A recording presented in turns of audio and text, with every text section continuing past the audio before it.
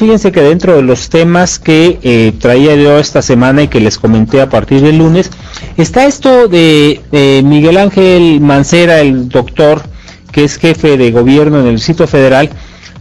Recuerdan que Antier anunció lo de la libertad a primo delincuentes y un convenio que se hizo con las compañías aseguradoras, a no aseguradoras, afianzadoras, para que aquellas personas que cometan un delito que sean primos delincuentes, o sea, que hayan caído en, en esta actitud delincuencial por primera vez, pues con 500 pesitos puedan enfrentar el eh, proceso fuera de la cárcel. Hoy tenemos la oportunidad de platicar con la licenciada Olivia Garza de los Santos. Ella es diputada del Partido Acción Nacional en la Asamblea Legislativa del Distrito Federal y es presidenta de la Comisión Especial del Reclusorios. Diputada, te agradezco muchísimo el que nos tomes la llamada. Eduardo, buenas tardes, ¿cómo estás? Un saludo para ti, para tu auditorio. Te agradezco muchísimo y preocupados con, con estas actitudes. ¿Es bueno o es malo el que el gobierno del Distrito Federal eh, pues les dé facilidades a aquellos que cometen delitos como para que enfrenten el proceso fuera de la cárcel? ¿Es bueno para la sociedad o malo? ¿Cómo lo interpretas tú? No, no, evidentemente es algo muy bueno, porque lo que estamos intentando, uno, es despresurizar el sistema penitenciario, porque al final el camino no es un buen lugar para que esté ninguna persona. La última opción de la justicia debe ser la cárcel, no la primera. Y aquí le, podemos dar te, estamos perdiendo un poco la señal, eh, eh, Olivia Garza. Sí. Aquí estoy. Sí, sí, ok, ya te escucho mucho mejor. Sí. Eh, ¿Mm? estamos dando la oportunidad a personas que a lo mejor cometieron un delito de hambre, como robarse un litro de leche, de leche para que obtengan una fianza que de otra manera no tener y lleven su proceso en la calle y no se determine si son o no culpables por un delito, porque finalmente en la Ciudad de México el día de hoy en las cárceles están los inocentes y muchos delincuentes los tenemos en las calles de la ciudad. Entonces se está criminalizando la pobreza. Mucha gente no tiene una adecuada defensa y por eso llega a la cárcel. Entonces este convenio va a ser muy bueno, que mucha gente de escasos recursos pueda contar con un beneficio de una fianza llevar un proceso en la calle, no contaminarse con delincuentes de alta peligrosidad que ahí están y además ahorrarle dinero a la ciudad, porque tú sabes que el mantener a un interno en la cárcel nos cuesta a los capitalinos 130 pesos diarios. Bueno, que, que muchas veces nos cuesta, pero no son aplicados efectivamente para los, los internos, ¿no?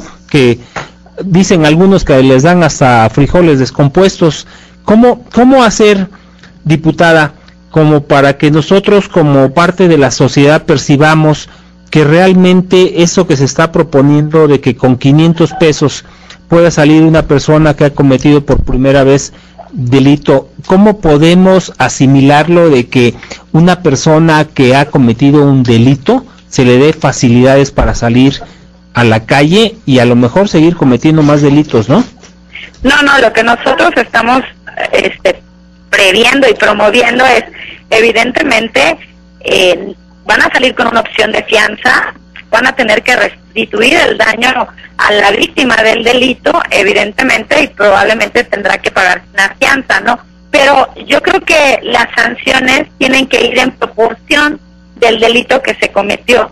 Entonces, alguien que se roba un litro de leche y que a lo mejor es una madre desesperada para llevar la comida a su casa, no puede ser sancionada igual que alguien que roba un banco. Y hoy es lo que está sucediendo en la Ciudad de México. Que, más bien sería en el caso, por ejemplo, de una persona que es acusada de la comisión de un delito y no lo cometió, es inocente, ¿no? Entonces, estas facilidades podrían ayudar a estos. Pero a final de cuentas, el que comete el robo de un pan por hambre y el que comete el robo de un banco con 100 millones de, de dólares, pues a final de cuentas es un delito, ¿no? Es el robo y tiene que ser castigado con la misma fuerza el uno que el otro, aunque aunque lo haga el otro por por hambre, ¿no? Porque si no, imagínate, el que robó 100 millones va a decir, estoy robando 100 millones porque es poquito dinero para mí, ¿no? No, no, no, pero lo tenemos que hacer siempre en proporción de los delitos que se cometieron, ¿no?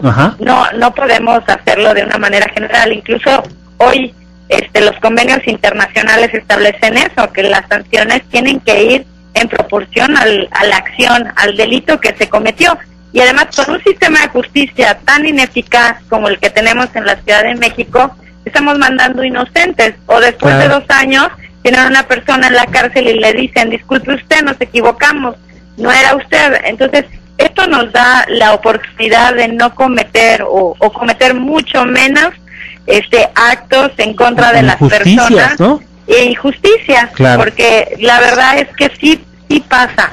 Incluso yo te diría, este convenio, pues la verdad es que lo trabajamos nosotros desde la Asamblea Legislativa, servidora, la Consejería Jurídica y la Afianzadora, para buscar darle una oportunidad a esta a esta gente porque tenemos seis mil personas en los penales de la Ciudad de México que cometieron un delito de menos de mil pesos. Entonces, sí, se está criminalizando la pobreza. Claro, ahí tienes toda la razón. Es preferible tener a una persona inocente en la calle que a 10 delincuentes en, en, en, la cárcel, ¿no? Es mejor que, que se vayan para afuera realmente te agradezco infinitamente el que nos hayas aclarado esta, esta eh, eh, pues duda de posición que, que, que me había surgido a mí, diputada Olivia Garza de los Santos. Te agradezco infinitamente el que nos hayas tomado la llamada.